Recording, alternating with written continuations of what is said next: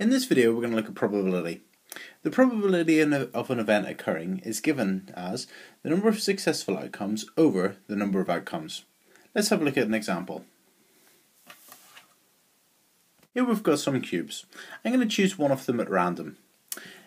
If I was asked for the probability of a white, this is shorthand for probability of a white, it would be equal to the number of successful outcomes, well two of them are white, so 2, over the total number of outcomes. Well, altogether there's 5 cubes, so it's going to be 2 out of 5, or 2 fifths is a fraction. White, well, successful outcomes, there's 1 white out of, altogether, 5 cubes, so 1 out of 5. And the probability of green, well, there's no greens, so it would be equal to 0 out of 5. Alternatively, you could just write that's equal to 0, because it's impossible. This time we've got 4 cubes, and I'm going to choose one of them at random. If I was asked for the probability of white, it would be 2 out of 4, so 2 quarters. Always make sure you give it as a fraction. If you were to write 2 out of 4, they, you wouldn't get the mark for that in the exam. You've got to write it as a fraction. Um, you could cancel this down, so you could cancel it down to 1 half. Alternatively, you don't just have to give it as fractions, you can also express it as a decimal or as a percentage. So you could write, or it could be equal to 0.5 because a half is 0.5. Alternatively, it could be given as 50%. I tend to give them as fractions or decimals myself. I tend not to write them as percentages, but remember, fractions, decimals, and percentages are equivalent to each other. Um, probably if an orange would be 1 out of 4, but that could also be a quarter is 0.25, or it could also be 25%.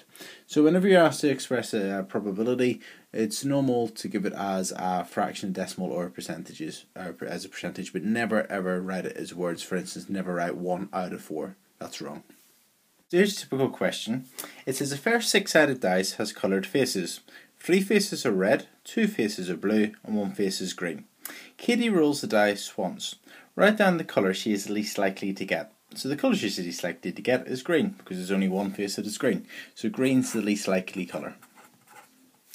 Then it says write down the probability she gets blue.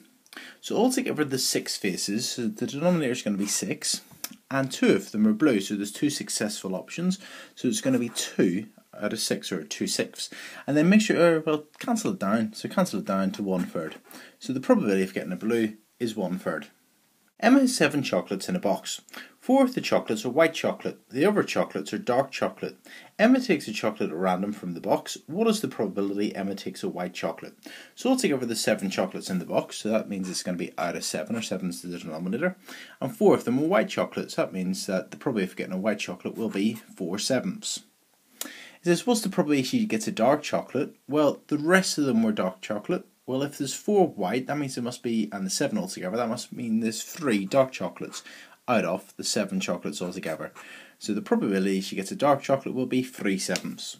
So here we've got a question where we've got this table that shows how boys and girls get to school. So they either walk, get the car, or other.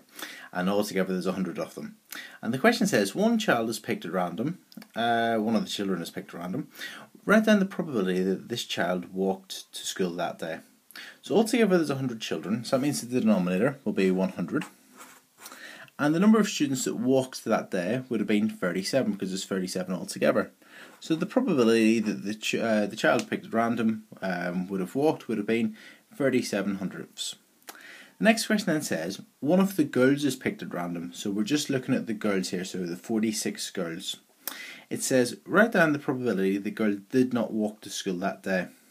So there's 46 altogether, girls. That means the denominator is going to be 46. And it says write down the parade they did not walk. So the, the girls that did not walk, well, 8 got the car and 16 went by other means. So if you add those together, that's 24. So that means that 24 did not walk of the girls out of the 46. So the probability would be 24, 46. And you can cancel that down. That would be 12 over 23.